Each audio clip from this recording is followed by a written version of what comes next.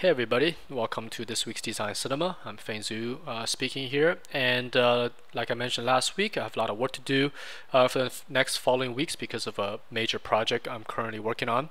So I'm going to keep these relatively short but still provide you guys with some information. So this week let's talk about setting up the Wacom tablet and Photoshop as a whole.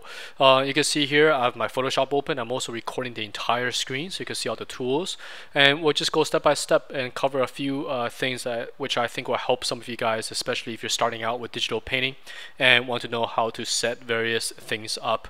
Um, but before I start this, I do want to mention that there are basically infinite ways to do digital painting and there's infinite ways to do a setup. You have to do it, you have to basically set it up to suit your own working style. Uh, what I'm going to show you is my personal preference, but it does not mean that's what everybody uses. Uh, but this is something I find quite useful for myself. So you can of course try it, but if it, you find it uncomfortable or something doesn't uh, uh you know work the way you want it to, then change it to the way that uh, makes it easy for you to work. At the end of the day, it's about converting this digital platform that you see here into something so comfortable that you could work without thinking that's digital. Um, so first, let's talk about the Wacom tablet. Uh, let's make some notes here. So I'll write some of this stuff down. So this is all being recorded in uh, in real time, so we're not going to speed this up, obviously. So I could write some notes here, right? So I at home I mean, at work, which I'm here right now, I'm using a Wacom Intuos 3. At home, I use a Wacom number 4. The difference between the two, very minor. Uh, I actually prefer the 3, but uh, unfortunately, you can't find them in the market no more. But I actually like it 3 because the surface is much better. The 4, the one over here, tends to be quite slippery. And I'm talking about the, uh, the, the, tablet, this surface right here, this surface. On the 4 is very slippery. And also the nibs, which is, um, if you don't have a Wacom tablet yet, it's this little pen. And it's got this little tip. This on the 4 wears out extremely quick. I can actually wear it out in about one or two paintings. You'll be down to like about that big. Um, whereas on the 3, I'm still using the same nib from probably earlier this year, and I've done tons of paintings on it already. So in that fact, it's much better. Um, the size of the Wacom, how big you want to get it, it's up to you. What I do is I generally like to uh, basically uh, regulate it according to the screen uh, size. So at home, I have a 30 inch monitor that is running at 2560 by 1600. Because this res is so high, a small 6 by 8 Wacom right, which is the typical size, I think, which was 8. I think this is 8, this is by 6. This is a little too small because this movement here is one-to-one, -one, which I'll show you guys in a bit. So as I move my hand from here to here, it's going to go across the page really fast because it's proportional, right? So for this, I used a 9 by 12 size, which is a pretty comfortable this is the medium size. There's one more which I have as well, which is a 12 by 12, which is square. I don't think they even make this anymore, um, but I still have one at home. It's a 12 by 12. Uh, I don't use this that, that much because the uh, 12 by 9 is widescreen, whereas 12 by 12 is a, it's a long screen. So if I even convert it back, it's still a 9 by 12, if you know what I'm talking about, because I don't use a vertical space. I use the Wacom proportionally to the screen. So on a 9 by 12, if I move my hand from here to here, it's a little bit slower in terms of the acceleration of the mouse cursor. Um, at work, I use a monitor that's um, a 27 inch, I believe, which has a slight different resolution. It's also 2560 by, uh, instead of 1600, it's 1440, I believe. Um, this one is an Apple Cinema. This one is a Dell.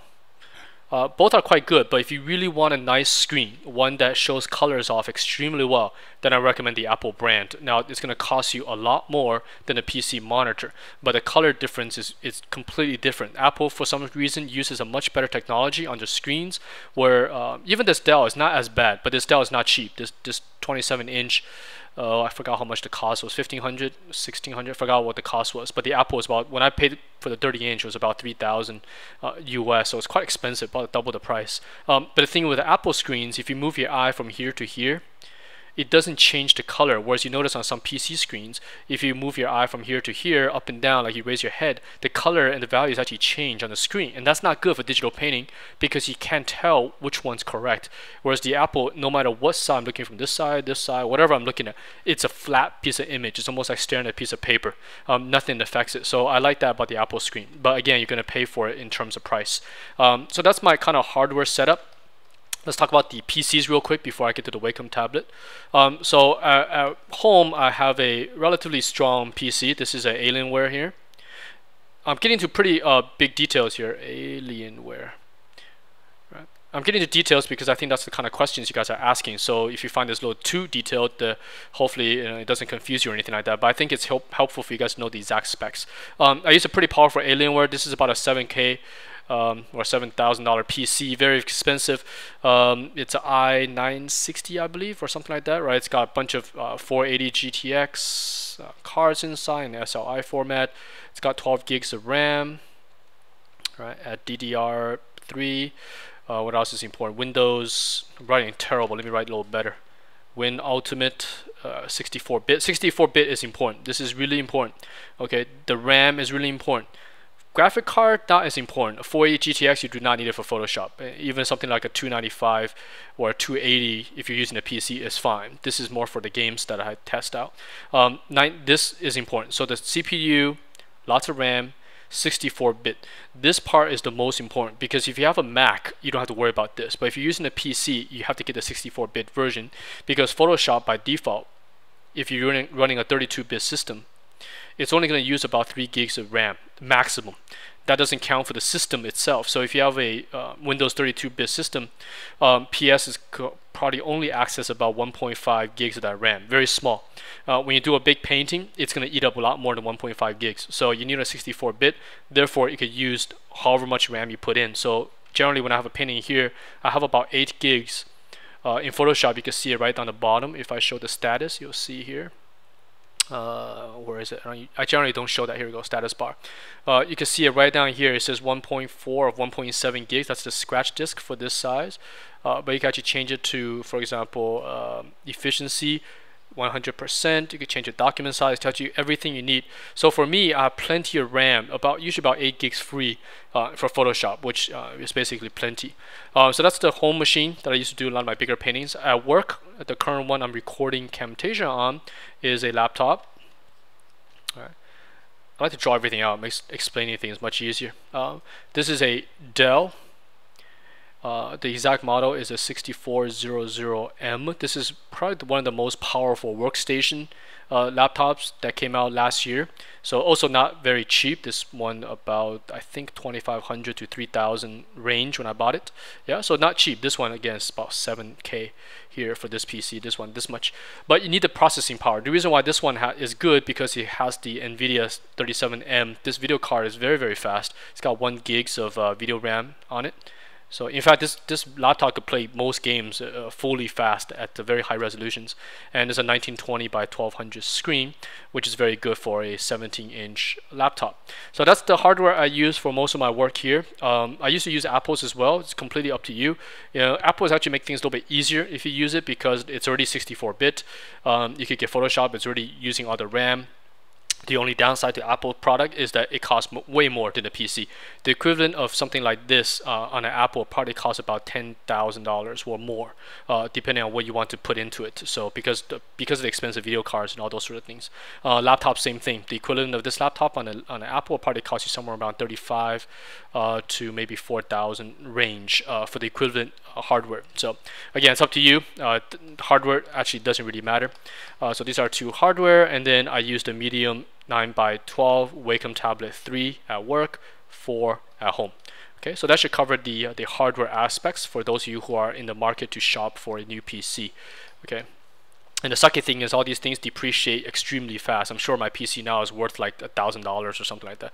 Do you know what I'm saying? Because as soon as you buy it, everything drops. I think right now the 580 GTS just came out. That makes that makes my 480s uh, completely uh, drop in price. But okay, so let's go to the Wacom setup. Let's go to Control Panel.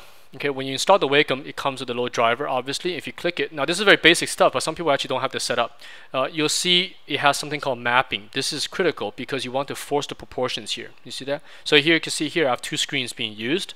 Uh, I'm only mapping it to monitor number one. I have another one. The laptop uh, my laptop is actually monitor number two.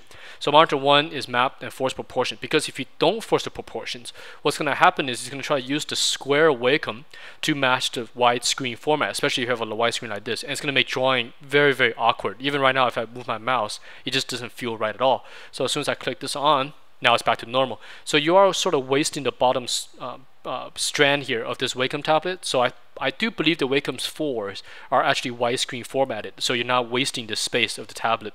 Um, but again, it doesn't really matter. It's a very small strip that I'm not using. Uh, so that's the basic. Everything else I leave default. I don't touch any of this stuff. I think is fine. Um, Personal preference wise, I turn all these off. I don't really use these at all. These kind of tooltip things, I have no idea what they do. I, I don't use them. I, I, I, use the keyboard instead. So I really don't care about those things at all. So the only thing to do is the um, uh, mapping and that's it. All these things are defaulted. The pressure, sensitivity, it's all default. Yeah. Okay. So let's go into Photoshop now. Let's close this one, which is the hardware. Let's talk about brush setups. Okay, checking my time here to make sure we don't run too too far. Okay, so this is my brush set here. You can see the top row here. These two rows, one and two, are all default. Actually, three as well. They're all default brushes. The custom brushes down here. To teach yourself Photoshop, I think the one the best way to do it is to learn how to use default brush. But something I do turn off, which is the um, pressure sensitivity. So if I open my brush settings, you can see this is Photoshop CS1 by the way, a very old version of Photoshop. The one I use at home is Photoshop CS5, uh, so, but this menu looks pretty much the same.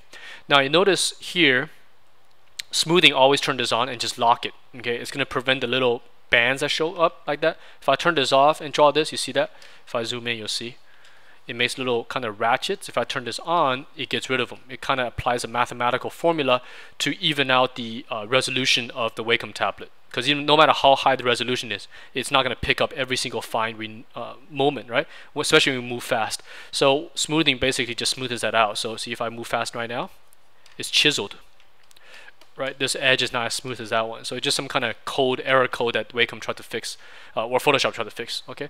Um, here, uh, on the other dynamics, I have flow jitter turned on. This is also on by default. So this allows you to, if you press lightly, it's very thin, press hard, it's thicker line, that's all, okay? But here, everything else is off. In Shape Dynamics, I have this off, which is the uh, opacity. Actually, I think it's in this one here. Opacity in the other dynamics is off. By default, it's on. Now, the reason why I turn it off is very simple. I'll show it to you in a painting. I learned painting from the traditional ways of doing it on gouache, which is a traditional medium. And in traditional medium, if I mix the colors, for example, if I mix red like this, right, and I want this red to go a little bit darker, well, what I could do is I could throw in a little bit of gray and make the red turn like this. So when I apply the canvas, I get this, right? If I want to make it lighter, I can mix a little bit of white, a little bit of light gray, or just white into the tube, and I'll end up with some value that looks like this, right? So if this is cadmium orange, by default, it'll probably look like this, right? This is default cadmium orange. Mix some black, I get this. Mix more black, I get that. But notice as I put these values down, it's 100% the color I mixed. But in digital, it allows you to kind of cheat. It, it, could do something that you can never do in traditional medium, especially with something like gouache or, or oil. You can't do this, which is have the opacity on which I think I have on for this brush. One of these I have it on. Let's just turn this on. Guess I'm turning opacity on now. So imagine I have this red, this cadmium orange, for example, right? Not red, orange. And I press lightly. See, I get a very light orange. I press very heavy, I get the original, the original color to come out. You see that? Or if I press medium, I get this. Now with a traditional brush, I cannot do this because the color that I mixed is always going to be this color. So if I choose the same color, put back my regular brush with opacity off, you can see if I paint lightly, I get a light version, I mean smaller brush size but same color. If I press hard, I get this. If I press medium, I get the same. And this is exactly how real paint behaves. Real paint cannot do this. With watercolor, you could achieve something similar. But with brushes, because the reason is because you have the tip of the brush like this, right? In a real brush, the paint is right here.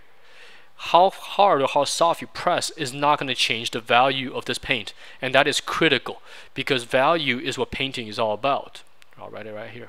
Value, right? The intensity, the black and white level. In traditional painting, we adjust the values which all colors have, right? If I turn this to black and white, you'll see it has different values. Notice here, the three values here, are exactly the same because we did not change it.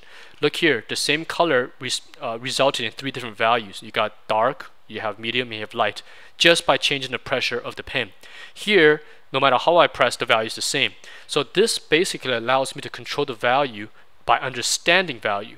This could result in a value uh, change that's unintentional. And for someone who's learning, this can actually make your painting look very, very muddy.